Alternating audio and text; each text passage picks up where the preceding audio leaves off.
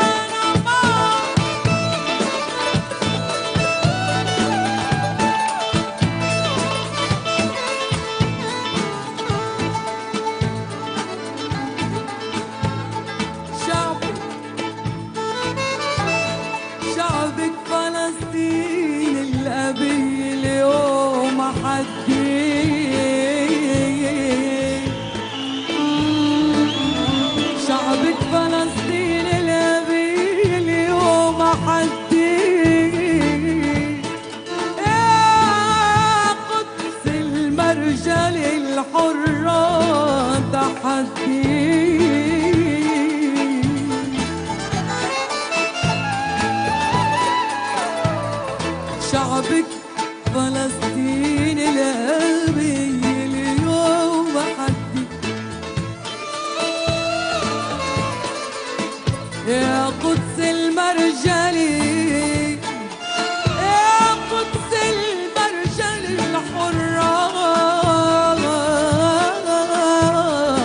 تحدي